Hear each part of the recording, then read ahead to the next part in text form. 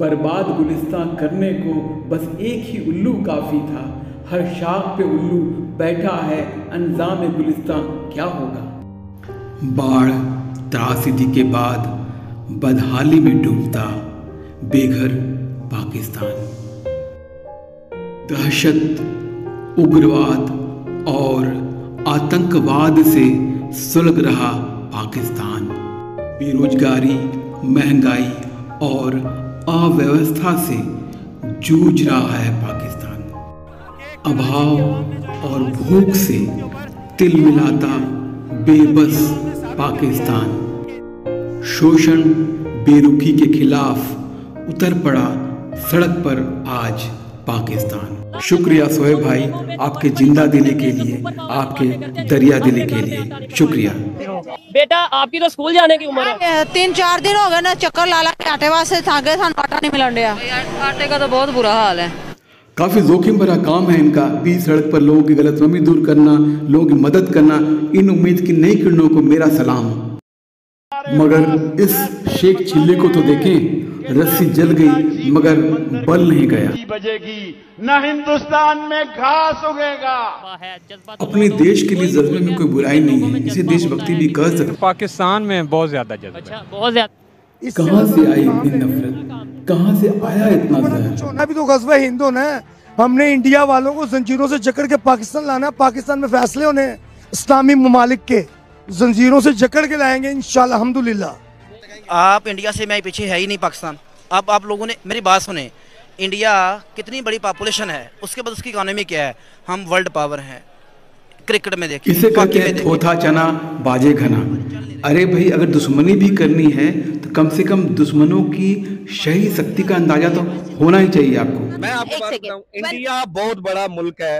India is the greatest लेकिन ये। पाकिस्तान के जूतों के नीचे है। हमारी आर्मी जो है वो स्ट्रॉन्ग है दुनिया में नंबर वन है। ठीक है? एंकर महोदया किसी कमज़ोर विद्यार्थी का किसी तेज विद्यार्थी से अगर आप तुलना करेंगी तो आपको ऐसा ही जवाब मिलेगा। बहुत गरीब मुल्क है। इस भोले ने तो हमारा दिल ही जीत लिया। कम से कम सरहद पे तो ये काफ़ी कॉमेडी करके लोगों का दिल जीत सकता आंसर पास नहीं है लेकिन गरीब मुल्क है इंडिया हम कैसे आबादी अपनी कंट्रोल करें बढ़ती जा रही है। कंट्रोल करनी भी नहीं चाहिए। सुनत है जितनी उस लड़के से शादी करो जो ज़्यादा बच्चे पैदा करे। तो फिर इंडिया को क्यों कह रहे हो कि वो अपनी आबादी को कंट्रोल वो पर पैंतीस करोड़ मुसलमान है यहाँ पर बाईस पच्चीस करोड़ मुसलमान। मुसलमान है तो मुसलमानों में आबादी बढ़े ना। फ़ायदा भी है। मुसलमानों में कोई पाकिस्तान के अलावा कोई मुल्क नदिया जी कोई मुल्क पाकिस्तानी आवाम के अलावा कोई माई का लाल कोई कंट्री जो बोलती है कि हम सुपर पावर हैं बगैर बिजली बगैर चीनी आपने कॉमेडी में ही सही लोग हंसा कर ही सही बिल्कुल सही और लोगों के दुखती नर्व्स पे हाथ डाल दिया है। बहुत बहुत धन्यवाद। वहाँ कोई एक हिंदू यहाँ पे खड़ा होके अपने मज़हब की पूजा कर रहा हो ठीक है? अपने मज़हब का कोई भी एक उसकी जो एक रस्म है वो कर रहा हो तो आप उसे करने देंगे बहुत सराहनीय काम है सोहेब भाई। हमें बिल्कुल सही जगह पे पिच करना होगा। करने देंगे। करने नहीं करने देंगे। इंडिया बहुत आपको प्यार करता है मगर आपकी डिस्क्लोजर से काफ़ी दर्द हुआ मुझे। पाकिस्तान में हिंदुओं की हालत समझ आई। कि सर ये यहाँ से खाना क्यों ले रहा है? मैं क्या मैं तुम्हारा उठा के तुम्हें उठा के मुझे गंदे लोग। कौन गंदे लोग लगते हैं? इंडिया लोग। क्यों अनलाइक करते हो? जरा इधर आओ ना मैं आपसे जानना चाहता हूँ कि आप अनलाइक क्यों करते हो? क्योंकि वो गंदे लोग होते हैं। क्यों गंदे लोग होते हैं?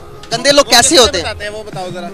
वो वो देखा था किसने बताया था वो गंदे हैं? गंदे लोग किस तरह से होते हैं? क्या करने से लोग गंदे होते हैं? वो पा वो पूजा करते हैं वो पूजा करना बुरी बात है। हम नमाज़ पढ़ते हैं नमाज़ करना अच्छी बात होती है। बच्चों के नरम दिमाग में बचपन में डाला गया जहर आगे चलकर गांठ बन जाता है। जिसे समय रहते नहीं निकाला गया तो कैंसर का भी रूप ले सकता है। अपना रब मानते हैं। सिर्फ़ मज़हब की वजह से दुश्मनी है और कोई मसला नहीं है। मैं कश्मीर भी होके और वो जुल्म करता है। आपने देखा? नहीं। देखा नहीं सिर्फ़ पढ़ा। पढ़ा भी और सुना भी। दरअसल धर्म और कश्मीर की घुट्टी तो बचपन में पिला दी जाती है। क्या क्लिक करती है? दे आर एनिमीज अब हर मुसलमान की शहादत का बदला लेंगे क्योंकि अब हिंद बनेगा पाकिस्तान।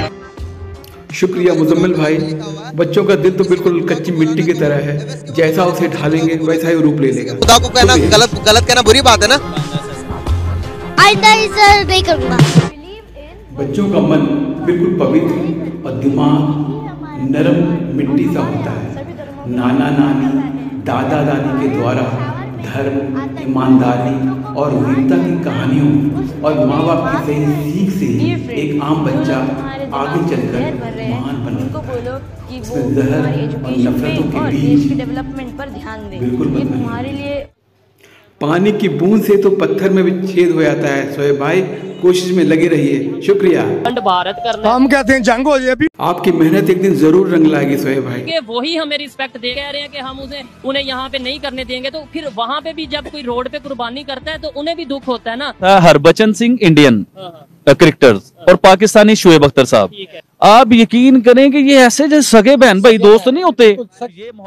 हम दोस्त सिलेक्ट और चेंज तो कर सकते हैं मगर पड़ोसी नहीं। पड़ोसी मुल्कों से अच्छे संबंध खुशहाली और शांति ला सकते हैं। नदियाँ पंछी पवन के झोंके कोई सरहद ना इन्हें रोके। सनातन कला संगीत और आपकी कोशिश को कोई सरहद नहीं रोक पाएगा। धन्यवाद।